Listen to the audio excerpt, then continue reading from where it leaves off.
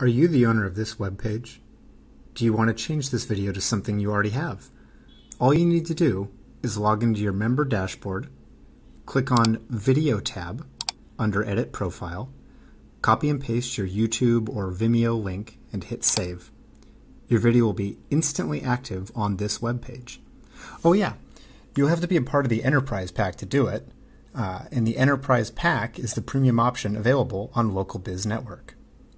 Not only do you get to add a custom video to your web page, but you also get a wide array of features that include a listing bang on the home page, a dedicated form for users to contact you, a custom button that links to the most important landing page on your website, or just a few of the things you'll get.